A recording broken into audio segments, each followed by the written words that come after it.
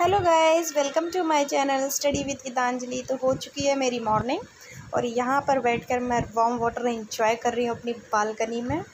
There after उसके बाद मैंने स्टार्ट किया अपना लिए चाय बनाना और स्टार्ट कर दी अपनी आई तो मैं अभी हो चुकी हूँ फ्रेशन अप तो चलिए स्टार्ट करते हैं आज की प्रिपरेशन तो आज की प्रिपरेशन स्टार्ट मैं आई सेक्शन से करूँगी दैट इज़ मेन्स टॉपिक से करूँगी।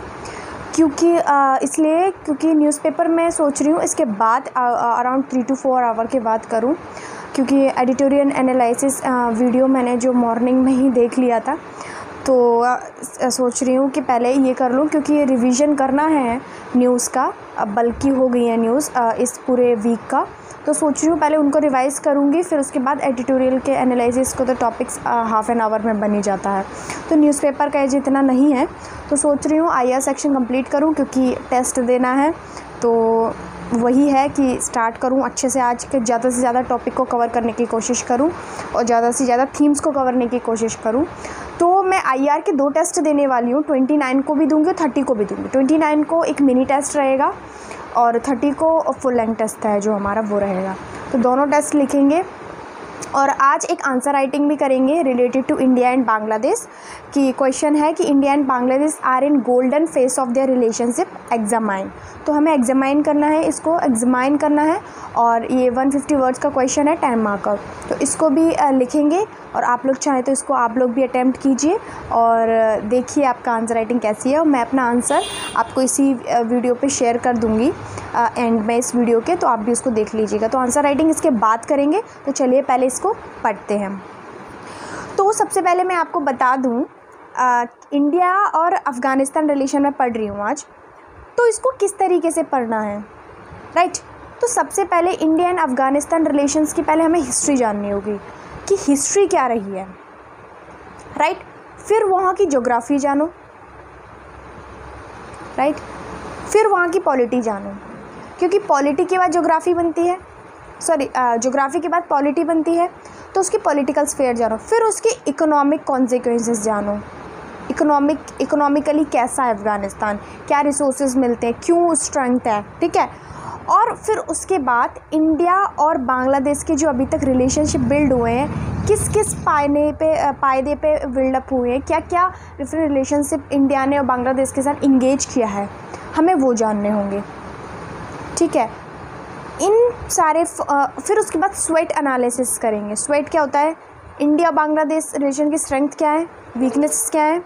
ठीक है? उससे हमारे पास और अपॉर्चुनिटी क्या है इंडिया बांग्लादेश के साथ रिलेशनशिप बिल्ड करने के लिए? और हमारे थ्रेट्स क्या हैं इंडिया बांग्लादेश रिलेशनशिप में? तो ये जो एनालिसिस कर लेंगे, इससे हमारा कोई भी अगर थीम बेस्ड क्वेश्चन आएगा अगर जो साउथ एशियन रीजन पे या फिर किसी भी ऑर्गेनाइजेशन पे या फिर इंडिया के रिलेशन विद अदर कंट्रीज़ के ऊपर तो हम इसको भी एज अ वन एग्ज़ाम्पल और वन एंगल इंक्लूड कर सकते हैं। इंडिया एंड अफ़गानिस्तान रिलेशनशिप पे आए क्योंकि अभी तालिबान ने टेक ओवर कर लिया है तो हम उसको भी लिख सकते हैं। राइट तो जो कंटेम्प्रेरी एंगल है, वो हम करंट अफेयर से करेंगे।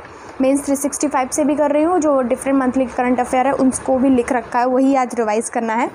तो चलिए, पहले स्टार्ट करते हैं।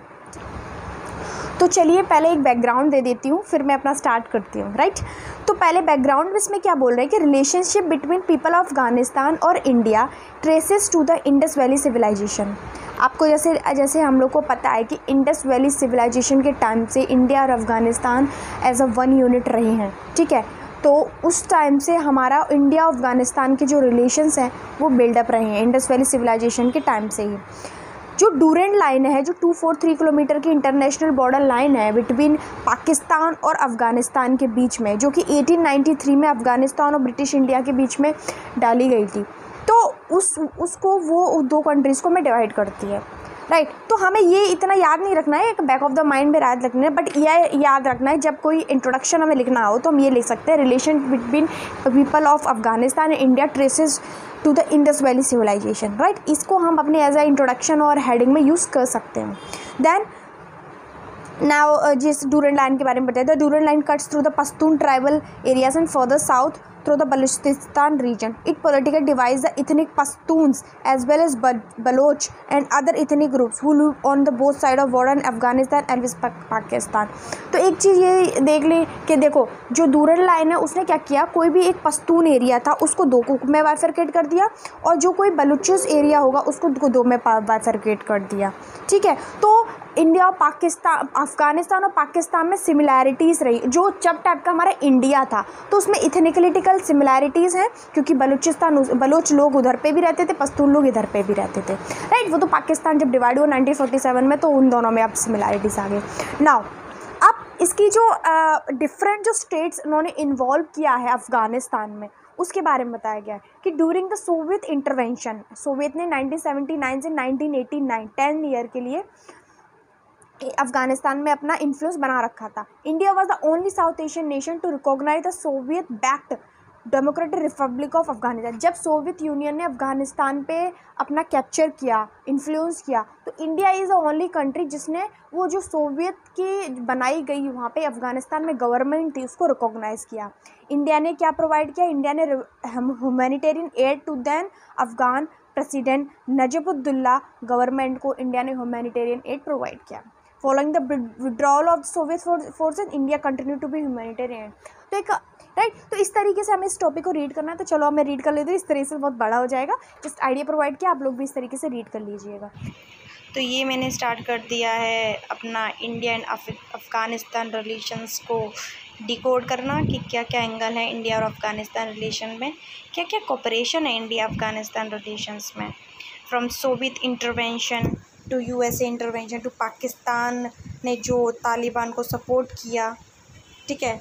यूएसए के साथ मिलके और डिफरेंट जो अभी तालिबान ने टेक ओवर कर लिए, वो सारे एंगल मैंने करंट के भी करंट के भी किए। उसके बाद मैंने स्टार्ट कर दिया अपना जो जोग्राफ़ी ऑप्शनल है, उसके नोट्स बनाना, क्योंकि रह जाता ही है तो मैंने सोचा इसको भी वाइंड अप कर दूँ। तो चलिए स्टार्ट करते हैं न्यूज़पेपर से।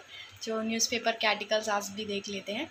तो आज आर्टिकल जी ट्वेंटी के ऊपर है सोशल सिक्योरिटी के ऊपर है कंपटीशन अमेंडमेंट बिल के ऊपर आर्टिकल है टोमेटो फ्लू के ऊपर आर्टिकल है और बस थोड़े प्रीलिम्स के क्वेश्चन भी इसके रिलेटेड टू न्यूज़पेपर लगाएँगे हम।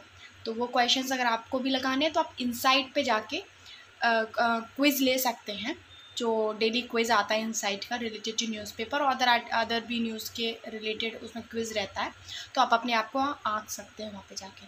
तो ये सारे आर्टिकल्स हैं तो चलो चलते हैं। सबसे मेन चीज़ आपको सोशल सिक्योरिटी के ऊपर जो आर्टिकल आया है, वो बहुत ही अच्छा आर्टिकल है द हिंदू में तो आप उसको बहुत ही अच्छे से रीड करिए, वो उसमें सारा डेटा आपको मिल जाएगा। तो चलिए अब न्यूज़पेपर के जो नोट्स हैं वो बना लेते हैं, उसके बाद आंसर राइटिंग पे जम करेंगे। ठीक है? तो लेट्स गेट स्टार्ट तो ये लोग मैं लग गई हूँ नोट्स बनाने के लिए, क्योंकि आर्टिकल्स बहुत ही अच्छे शानदार आए थे आज, जो कि मैं मेंस आंसर राइटिंग में यूज़ कर सकती हूँ। तो मैंने स्टार्ट कर दिया राइटअप करना। सिक्योरिटी के जो सोशल सिक्योरिटी के पर्सपेक्टिव का आर्टिकल था, वो बहुत ही शानदार था। तो जैसे कि मैंने आपको पहले भी बोला, उसको राइट डाउन अच्छे से कर लीजिए।